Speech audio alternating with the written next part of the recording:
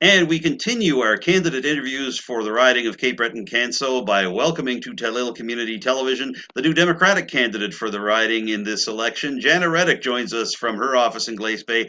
Jana, thank you so much for giving me some time on Telile 24 7 today. I'm really excited to uh, be here, and you know, I'm glad to be doing all this, these interviews, and hoping to get people to know me a little bit better. So thanks for having me on. Uh, it's our pleasure. We're, you're very welcome. And I want to begin quickly by asking you how the campaign is going. Uh, we're down to two weeks before the actual vote. We're in the home stretch. Uh, how do you feel things have gone for you throughout this big ride? It's going pretty well. Um, I I have been doing a lot of kind of getting out and talking to people. Uh, door to door has kind of been hard for me because I'm dealing with I'm going to have to get a hip replacement at the end of this month or early October, hopefully. So I haven't been able to hit as many doorsteps as I, I wanted to, but I'm hoping to change that in the next two weeks and try to just power through the pain and get out there. But I think it's going well. So all right. Well, I'm glad to hear that. Uh, hopefully, uh, that will be able to go well for you over the final two weeks. Now, you decided to run this past spring, and you brought up that you need a hip replacement, but I understand that your own health situation played a role in you choosing to run for federal politics and to run for the NDP as well. Can you tell me a little bit about that, please? Yeah. So back in 20, I want to say it was 2018. Yeah, 2018. No, 2019. So it was 2019. Uh, I was I had found a lump. I had a lump in my breast at the time. I had it checked a few times and they had told me that it was benign. Um, and then I ended up finding a lump in my armpit. So I had to go to a walk in clinic to, because I didn't have a family doctor at the time. And uh, anyway, he ordered an ultrasound and things like that. And it turned out that I had breast cancer. So it had spread to my lymph nodes. So at the time, it was around stage three, uh, maybe stage two, but it was stage three eventually. And so I ended up having to go through all the treatment. I did around nine rounds of chemo, 30 radiation treatments, and uh, a mastectomy where I lost my left breast and I don't even know how many lymph nodes. I'm going to say 30 something. And uh, then you know I, it was good for a while and then i ended up getting spine metastasis uh, just to one vertebrae on my spine. So now i'm kind of living with stage four but i have a wonderful team at the cape breton um, cancer center here and i find that yeah, i only had to go up to halifax twice once for my mastectomy and another for my uh, I had to get two rounds of radiation that were uh, specifically used in a radiation machine that's up in Halifax that I think we're trying to get down here, but it's it's pretty expensive, so it's hard uh, for them to kind of get the funding.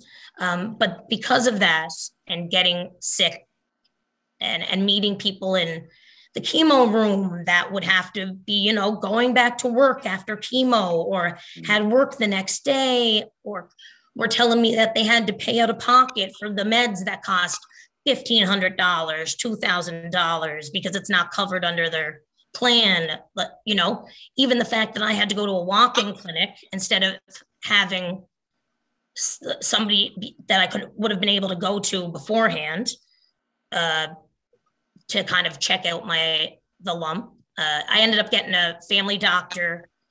The first time I met her was when I got uh, the news that she had to tell me that I had breast cancer. So that that was the very first time I met her.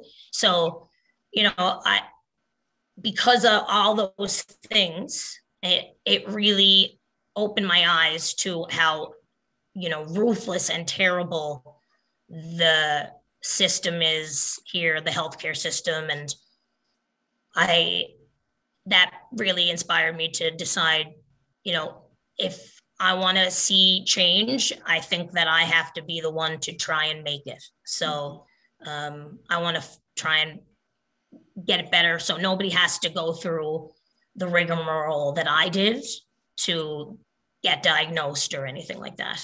Mhm.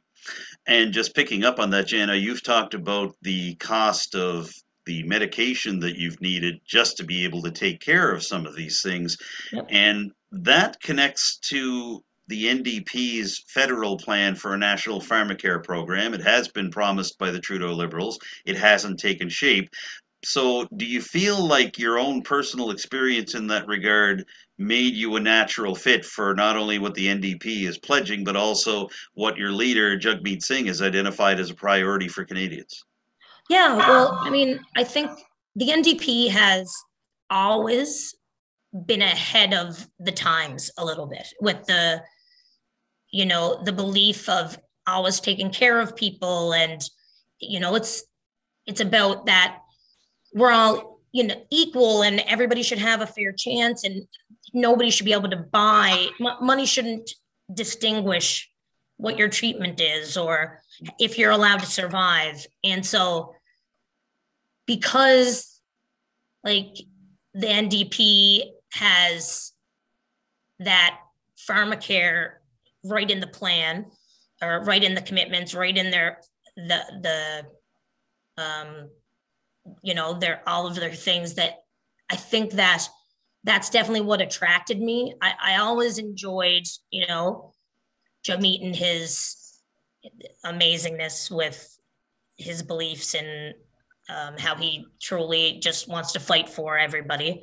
Um, but i think pharmacare is such an issue for so many people. Um, you know people will say you know, you get health care. Well, a lot of jobs don't give you uh, the, you know, the coverage to cover a lot of the drugs. And then they, if you do, then you're paying out of your pay that, you know, if you're making $800 every two weeks, well, taking health plan off that, you're left with, you can't, you won't even be able to pay rent and eat.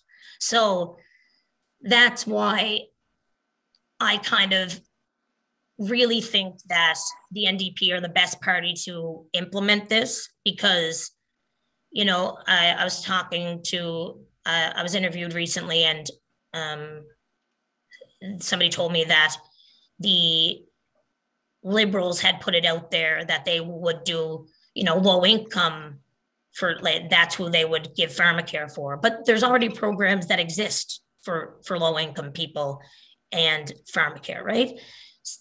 The problem is, is that people that are, you know, stuck in the middle of that they have a job, but the job isn't getting them through to payday. So they're getting, you know, they're they're in debt after all of the things that go on or they you know they run out of monday money by the monday before payday mm. and they can't afford to get all of the you know drugs they need and that that's why pharmacare has to be something that's considered for all of us because right now pharmaceutical companies are just able to write what they want for us and that's just what we have to pay. And i think that if there's drugs out there that can save somebody's life there should never be a price tag on that. Um, and that's why that matters so much to me and I imagine, as you've mentioned, you're hearing that on the doorstep as you go from door to door in this campaign and as you're speaking to people in different areas. What are some of the other key issues that you're hearing on a regular basis? And how do you feel that electing you and also electing more New Democrats would help answer some of these questions that some of the people here have?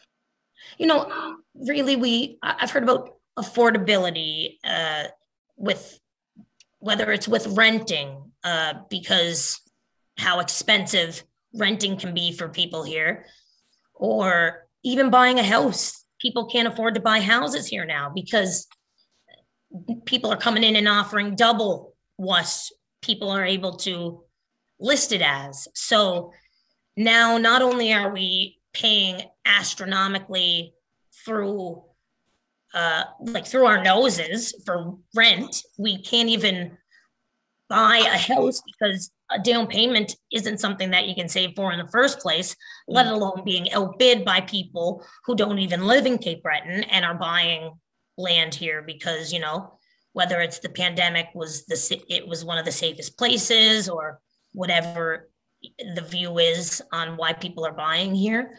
But I think that is something that I've I've heard a lot of. Um, another thing that I've heard a lot of is, you know, um, that people are really annoyed and tired here in Cape Breton and I think all across Nova Scotia with the the fact that this election was in two weeks already while we were still in like uh, the Nova Scotia election, you know? So people are tired and they're annoyed and they feel like their voice never or their vote never matters. And so I, I think really a lot of times I've gone to doorsteps and people have been saying, you know, I, I'm exhausted. Like nothing's going to change anyway. Why should I vote? And I, I can't say I blame them. You know, uh, it it's really discouraging when you feel like your voice is never being heard and nobody ever stands up for you. Uh, and so, for me, that's something that really matters because the uh, like I know that here in Cape Breton, we are a lot, and, and you know, not just in Cape Breton, Canso too, and like up in, in Guysborough and around that area. I don't, by no means do I want to leave them out. I feel like really a lot of times they kind of get left behind um, because the focus is on Cape Breton so often that nobody kind of fights for them even harder. So um, I think this entire riding suffers from the fact that a lot of times people who are kind of well off or you know are are really politicians and not eh, like you know people that have been in the job force or the yeah the workforce or you know um like i've worked in nonprofits for my whole life or i've worked with youth um, for the government or I did access for families who had their children taken away from them, and I would supervise their visits. And I'm I'm not well off. I, am by no means rich. This is definitely uh, a poor campaign. It's all donations here. I can't afford to fund my campaign or anything along those lines. But I think a lot of people can understand that because they have those struggles and they have they know what it's like to live paycheck to paycheck or even paycheck to payday loan or uh, paycheck to overaging their credit cards so i think people around here need to have somebody that represents them in parliament that understands what it's like to not have that doctor to not have somebody fighting for you to not have money that that can't afford healthcare because they're working at a job they hate for mi- minimum wage, peanuts, and you know, they can't save, they can't do anything to make their lives better because they're stuck in this rush. And I think somebody like that, somebody that understands people here, mm-hmm. have to or should be who's running or who represents us here in Ottawa. Because I think it's very easy to not understand what people go through here on a daily basis if you've never experienced poverty or having to choose to pay the electric bill or buy groceries, you know? Mm. So I think that that's what matters to a lot of people. And those people should be able to have somebody in that this like representing this riding that can honestly say you know i've been there i've been in the dirt with you guys i know what it's like to struggle and i want to fight for all the things that you want because we deserve it here and there should be no reason for us to have to be second class to other parts Jana, I wanted to devote the next part of the interview to past, present, and future in terms of politics here in Cape Breton, Guysborough County, and Antigonish County, which take in the riding of Cape Breton Canso. This is a place that has elected New Democrats in the past. Uh, Father Andy Hogan was the member of parliament for Cape Breton, the Sydneys, uh, for many years in the 70s. Uh, Michelle Dockrill winning a new version of the riding, Bras d'Or Cape Breton, in the late 90s, uh, defeating a powerful Liberal cabinet minister, David Dingwall, in the process. He, of course, now the president of CBU. And there have been some strong female candidates for the NDP in recent years, including the former mayor of Mulgrave, Marnie Simmons, and Port Hawkesbury community activist Shirley Hartery. What does it mean to you to know that those names have had some success in this area and may have planted NDP seeds that could blossom for you and for future NDP candidates here? Well, I think really the NDP was always, uh, for a long time, it was the working man's party, the the worker party. Um, you know, fighting with unions and uh, t- like helping them out and uh, you know, not fighting against, but fighting for or with them uh, is what I mean to say. And, you know, I think that really a lot of people here, um, here in Cape Breton and, you know, like you said, uh, Guysborough, Antigonish County, things like that. I think, or places like that. I believe that that the NDP belief is still there that they fight for the people. They fight for the people that work. They fight for um, the the rights of the, the the rights of you know everyday people or um, they really they they fought for being able to have labor day or things like that. Just you know they fight for us. And i think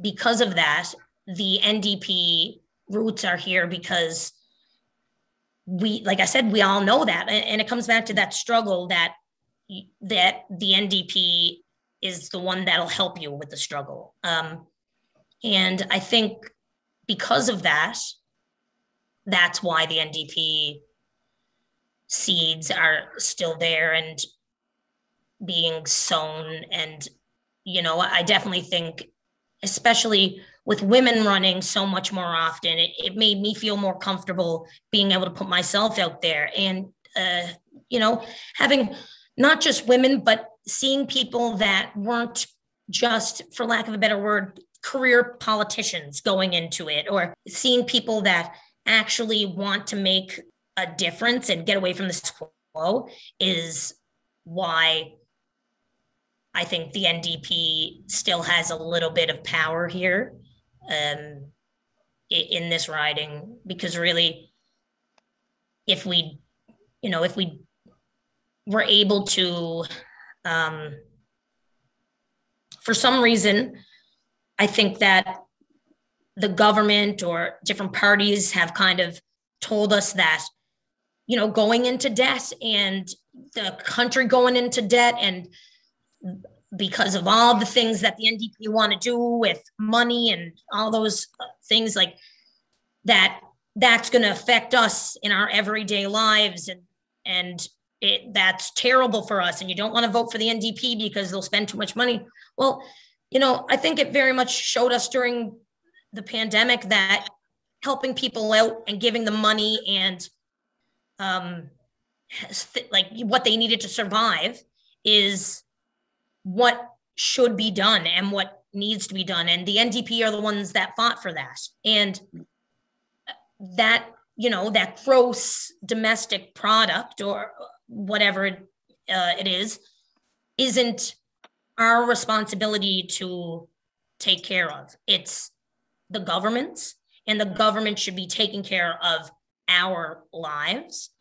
Um, and really, that's why I think that you know that's why the NDP still lives there here in in this riding, and I think really the liberals have held it for so long because uh, you know part the, the NDP has fluctuated and the liberals have always you know they have more they have more money than the NDP and they have this like access. And So I think that's why they've been more so successful um, and why the NDP hasn't really been able to get very far.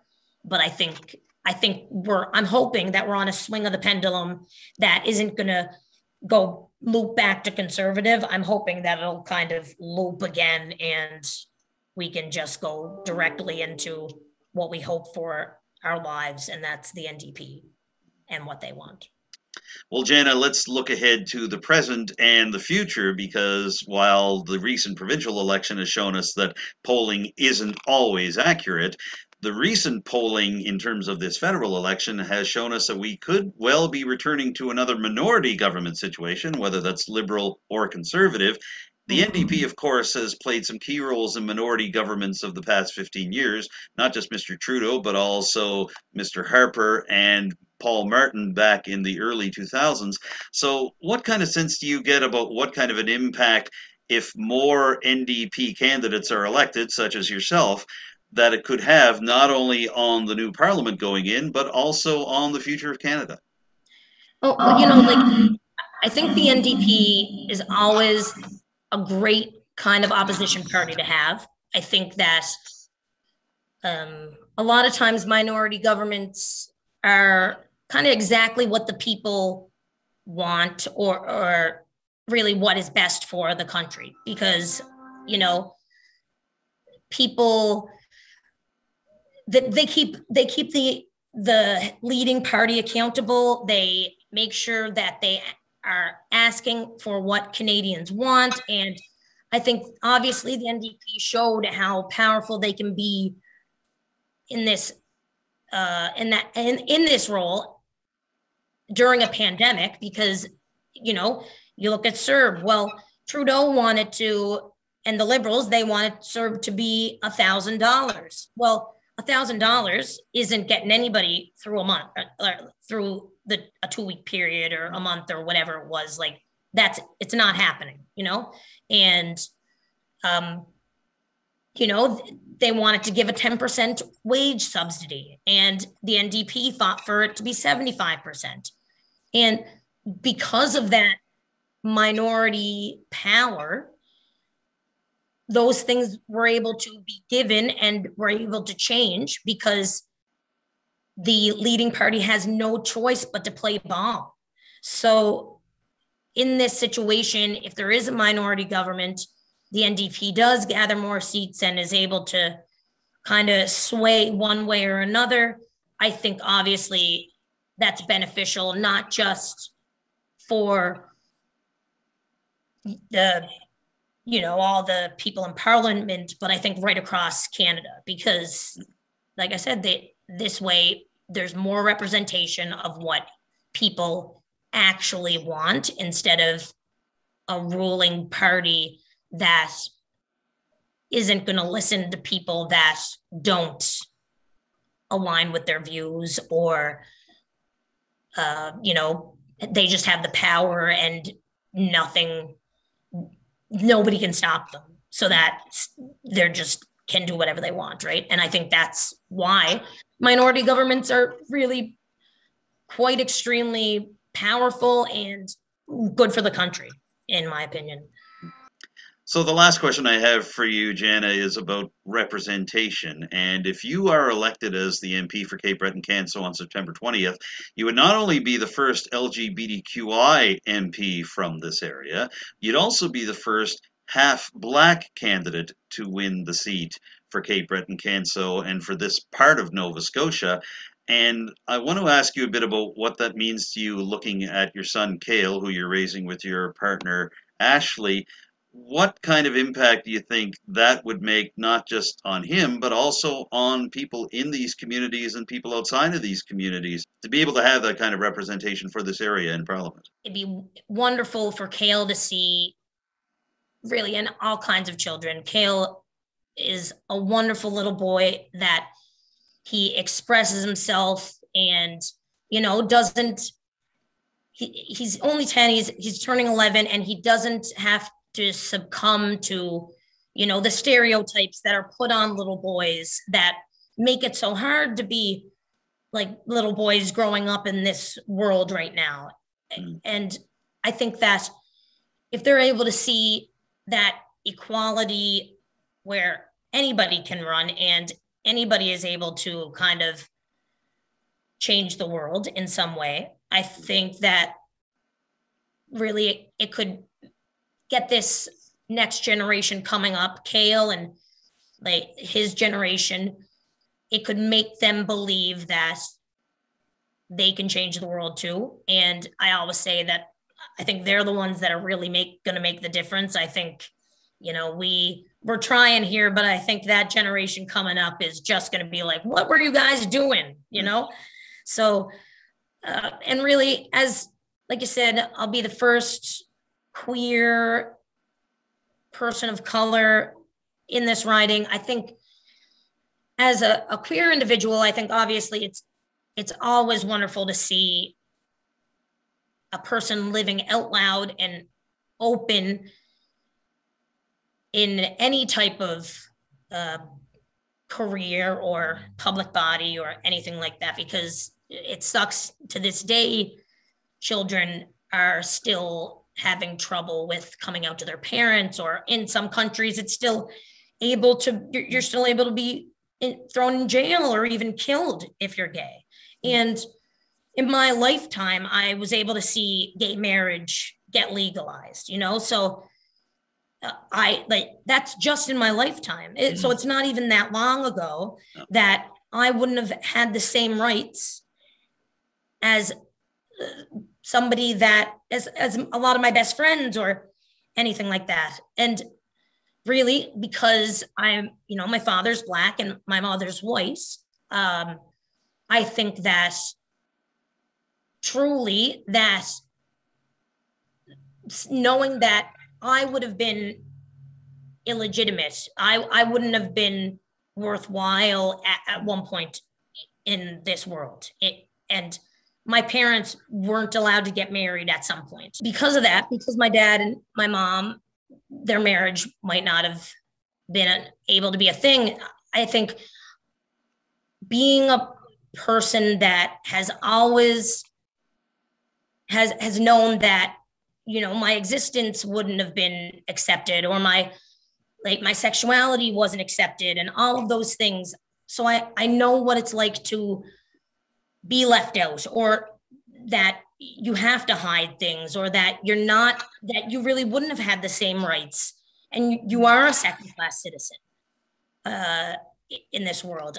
Because of that i think really that is able to it gives me the understanding of, of what a lot of people here in cape breton feel uh, you know not just people of color but really people that are living in poverty and people that are like always feel like the system is stacked against them.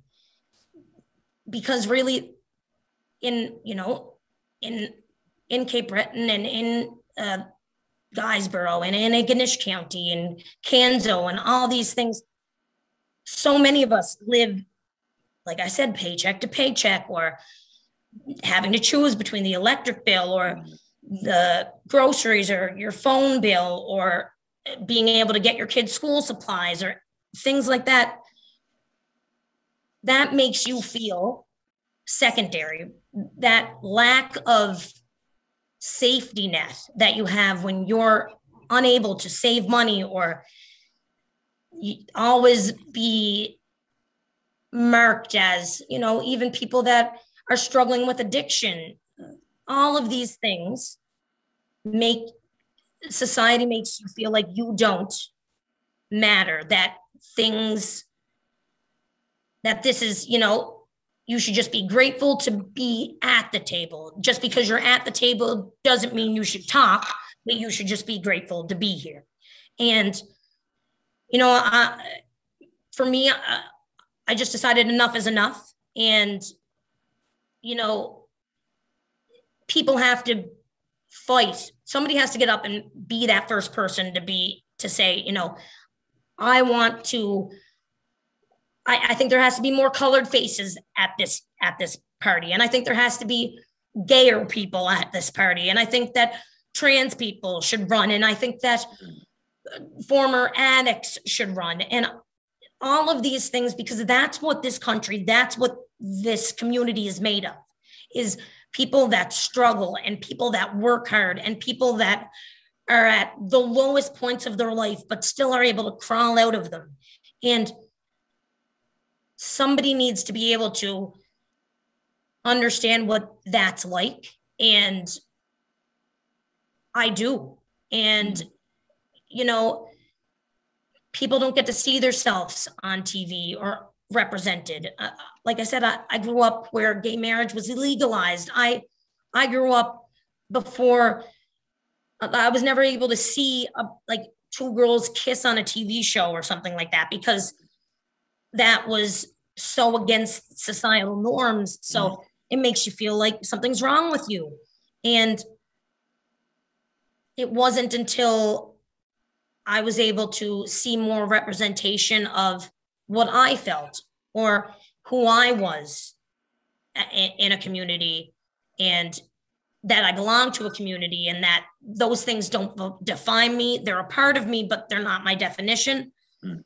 That made me feel as if I could be that voice at the very least that makes people realize that they are needed and uh, you know like there's there's a, a population of black people across this entire riding hmm. and yeah uh, they've never seen somebody of their own uh, race be able to be a part of this uh, or help with this riding. And you know, as a light-skinned black person, I I get certain privileges, and you know, maybe one of my privileges is, be, or because of that privilege, I'm able to, not just maybe, I am, I'm able to get certain things that people with darker skin um, and are black wouldn't be able to, and that's despicable to say, but it's true because that's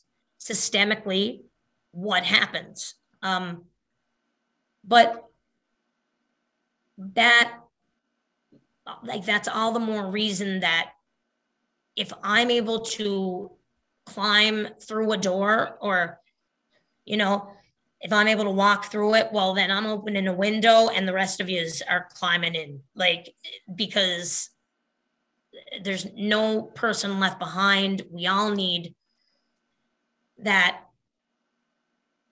help and we all need that security and we need somebody who understands us and is fighting for all the things that we truly need in this riding, not just what our party tells us and not just what our donors tell us. And we need what matters to these people. And, you know, like I said, people don't get out to vote because they don't believe that somebody's going to represent them or it never changes. Well, I can promise you that if I was to be the person that gets in, I'll, I'll I will be the person that is defending every single person and working for every person to try and make this place better and more sustainable where your families can stay and be here whether you're straight gay bi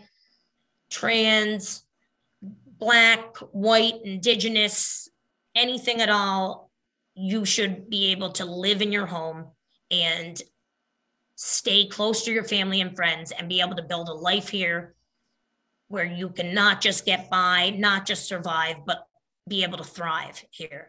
And that's what I want to give this community because, you know, getting cancer was the thing that gave me a new lease on life and it it reminded me how amazing having a community that cares about you is uh, and how it can change how you feel about yourself. And i want to make this community feel like they have that person that's doing that for them. And that's a good positive, hopeful note on which to wrap up this interview, Jana. And I want to thank you very much for giving me some time here. I know it's a busy day for you at your office in Glace Bay, but we wish you the very best for your candidacy in Cape Breton Canso. And uh, Jana Reddick, thank you for joining me on Telile 24 7 today. I really enjoyed it. Thanks.